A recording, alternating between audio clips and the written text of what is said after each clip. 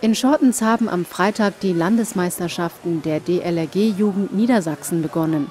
Zu den Disziplinen gehört der Staffelwettbewerb mit der Rettungspuppe.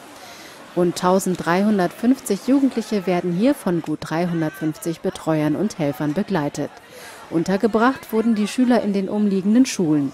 In der IGS an der Beethovenstraße wurde die Pausenhalle in eine große Mensa umgebaut. Im Obergeschoss der Schule gibt es Freizeit- und Informationsangebote für die jungen Rettungsschwimmer. In einem provisorischen Kino werden aktuelle Filme gezeigt, es wird gebastelt und Musik gehört.